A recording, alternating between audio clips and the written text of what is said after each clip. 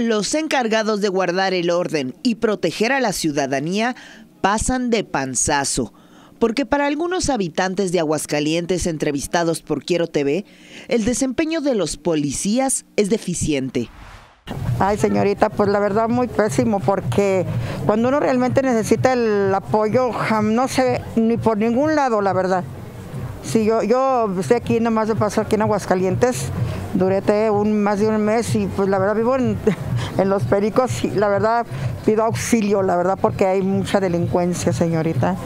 Y, y pues cuando se necesita, no más para nada.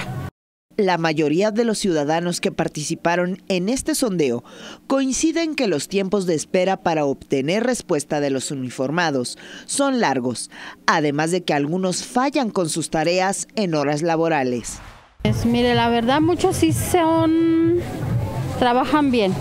Otros yo he visto que en lugar de estar en vigilancia están con el celular o están chorcheando por allá en lugar de hacer su trabajo. Y este, pues también a veces les habla uno a las unidades, ¿verdad? Para que acudan a veces que hay una, este, un problema así, por decir, con los vecinos o algo. No llegan, llegan hasta mucho después. En el marco del Día del Policía, la ciudadanía enfatizó en la importancia de eficientar el tiempo de respuesta ante una emergencia.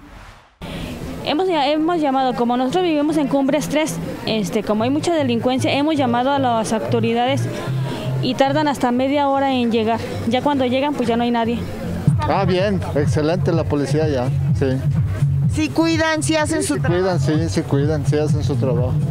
En este día es importante reconocer la labor de los policías que tienen un óptimo desempeño, así como visibilizar los retos y carencias que percibe la sociedad hidrocálida. Con edición de Jacobo Flores, Fernanda Granados, Quiero Noticias.